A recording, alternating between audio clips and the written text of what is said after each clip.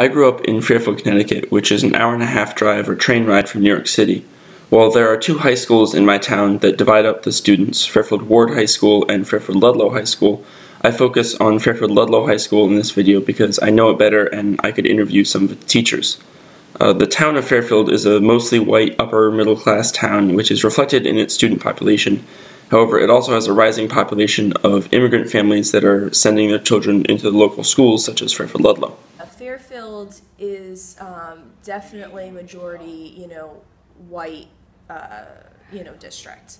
So, um, but the population of ELL students and immigrant students has mm. been increasing quite a bit, and there has been a lot of discussion about like how do you serve these students. Um, so that's been something that the district's trying to handle and work with. Um, they had a meeting recently where they needed an Arabic translator. You know what I mean? Yeah. So there are things that um, the school system's having to adapt to something that it's not incredibly used to in order to be able to serve students and not only Spanish speaking, you know, there's a lot of students that are coming from the Middle East, mm-hmm. especially, mm-hmm. that I've noticed lately, and East uh, Asian countries as well. Mm-hmm. mm-hmm. You know, I've had students from Haiti, I've had students from uh, India, from Europe, from uh, you know Eastern Europe, Western Europe, definitely from you know Latin America. So I mean, and I think for a lot of them, they have significant adjustments that they have to make to getting acclimated to um, you know living in a suburb of New York City. In order to better serve the incoming students from other countries and help them adjust to learning in a foreign school and a foreign language, Fairfield Ludlowe has adopted programs to help them learn the different subjects while also learning more English. This is a small program in the school. The teacher who leads it is only in Ludlowe in the mornings, and it utilizes classrooms when they are not being used by other teachers, such as this one here, which is tucked into the back of the library and I believe is used as a language room.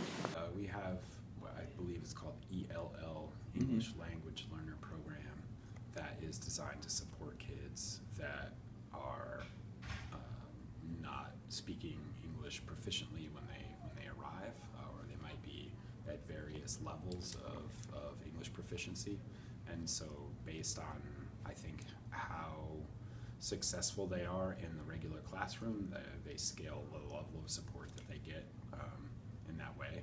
The interesting thing about Ludlowe, um, it's only one of two high schools in town, as mm-hmm. you know.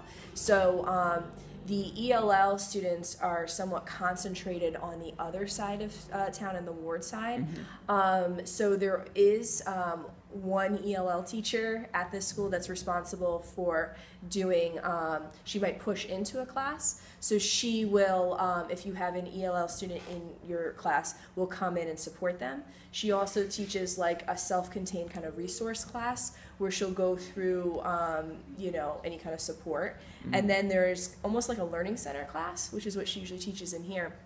And that class is more of like, um, almost like a structured study hall where she'll like help the students individually. Mm-hmm. Um, the plan is next year, and I'm not privy to like all the information, is to create like a um, uh, an ELL kind of academy at mm-hmm. Warde where um, students who are ELL um, will kind of go there and there will be like a social studies class that's just for ELL students. Mm. So that's kind of the model um, that I think they're still developing that they might move to next year.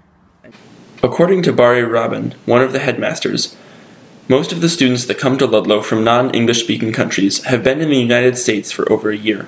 Because of this, none of them are on the first scale of English proficiency, which is the highest need for help in English.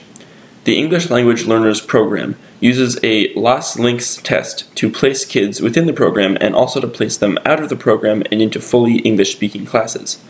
Las Links does not seem to be a multinational corporation from my quick research on it. However, it is used across the United States to, te- to test kids in both Spanish and in English.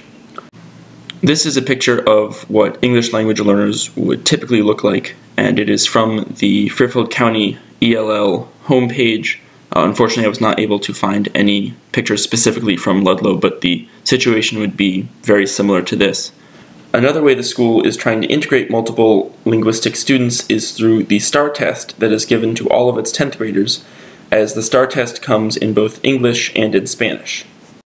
While there is the ELL program for kids in school, there may not be as many resources for the families uh, outside of school and in the community. Um, if you go next door to Bridgeport or where I went to school in New Britain, you would have, you know, where my high school, all the signs were in English, Spanish, and Polish. So it was a way different situation where you're um, not only trying to help, you know, the students know their way around, but also mm-hmm. like parents. Um, I do know at open house night, you know, the parents do come in and get to meet the ELL teacher because it's it is an academic class, like it's in their schedule.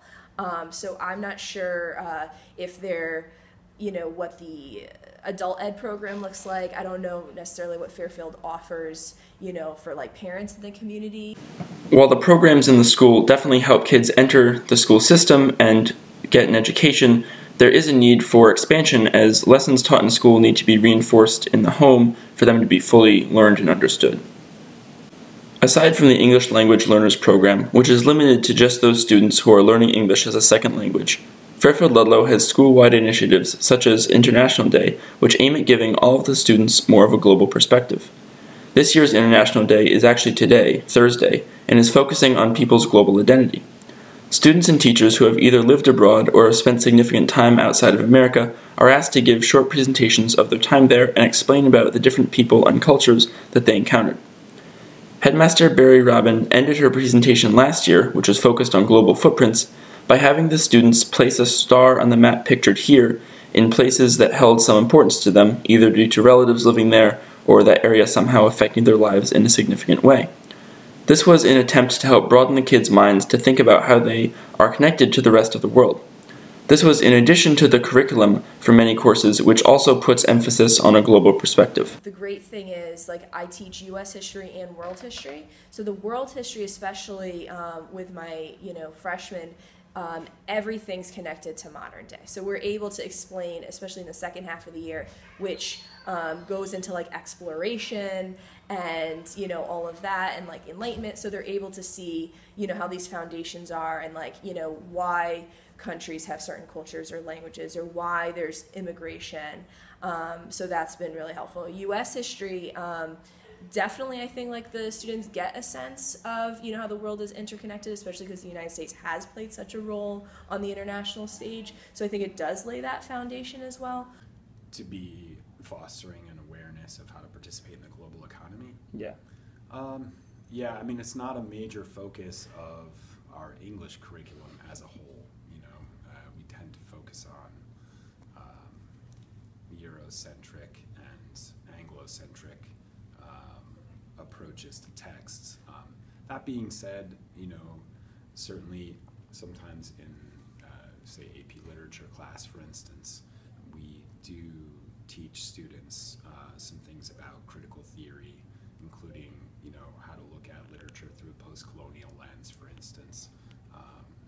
The main idea of these courses may not be to train kids for immediately joining the workforce or for being competitive in the global economy, although prepping for the workforce was emphasized in some of the classes that I took. The emphasis on global thinking and seeing international relationships that is taught, however, will help kids if they're entering businesses where they're dealing with company branches or suppliers in foreign countries, and in that way it is helping with their perceived competitiveness in the future. The main goal of many classes at Ludlowe is training kids to go to college and how to do the work that colleges will expect. This is a picture of a student poster displaying statistical research that they did in class. While this is easily applicable to the workforce, it is also practiced for research in college and displaying that research. This focus on college is seen in the testing carried out at Fairfield Ludlowe. As one of the main goals of the school is to prepare kids for higher education, many tests are centered around that goal and come from companies in the United States most of the standardized tests that are that we pay attention to or that we're asked to pay attention to, I mean, in our AP programs, the kids are asked to prepare for the advanced placement test, all of which are created by College Board, mm. which are the same people that produce, you know, the ACT and SAT and um, actually the also the GRE exams and a bunch of other ones. Mm-hmm. But those are all domestically produced, and I don't think there's a lot of um, globalized sourcing going on with in terms of where those tests come from. And for the uh, AP level, a lot of them are coming from College Board. Um, you know, and they're kind of adapted from those those companies because they are written a certain way. Um, but I've also used like review companies, so like Kaplan, Princeton Review, um, Barron's, as sort of like model test questions. Um, for my freshmen, not as much. We might model because it's not an AP level, so it's not. I don't have to model test questions particularly. But we actually will use like the regents out of New York um, as kind of like model questions sometimes. So, and that's more of like you know a state testing. Um, but I don't know if they model theirs over like certain private companies. While the tests given to students, especially at the higher levels, are centered around the United States university system, some of the companies that teachers get practice questions from are international corporations. Kaplan is a good example of this as it is a test prep company that deals with many United States tests such as the ACT, SAT, LSAT, and bar exam, but it has services in the United Kingdom, Mexico, India, and other countries. The same goes for the Princeton Review, which has international offices in Jordan, Vietnam, Oman, Kuwait, China, and Turkey, to name a few, along with authorized dealers in Morocco, the Philippines, Indonesia, Panama, and Spain. Even College Board, which is based in the United States, offers tests such as the SAT on a global scale, although mostly in Asia, presumably for students wishing to study in the United States. The education system in Fairfield Ludlowe is currently expanding to accommodate a student body drawn from a more globalized base. While it is still predominantly white and upper middle class, it has implemented programs such as English language learners to help kids who come from non English speaking backgrounds. This program is somewhat small, however, and focuses more so on the students while in school. In addition, Ludlowe emphasizes a global perspective in many of its social studies courses and tries to prepare kids for the global economy and expectations of future employers, as well as for college and in some classes, everyday life. The tests given are largely centered on in the United States, but the companies that provide them are mostly international testing companies, and often teachers use test prep corporations for practice questions which connect the school to international testing and other countries that use the same companies.